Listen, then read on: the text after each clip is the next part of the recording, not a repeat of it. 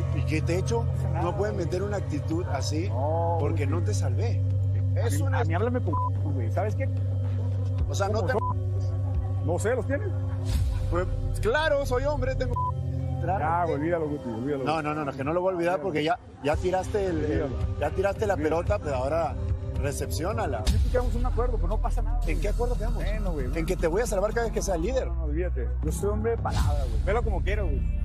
No, no, Pero no. esto no, no. cambia, güey. ¿Ah? Afuera nos hablamos, no pasa nada, güey. Si va a ser hombre de pala- de palabra. No tengo por qué voltear a decirle en la cámara lo que hablamos allá afuera. ¿Por qué estoy con cámaras?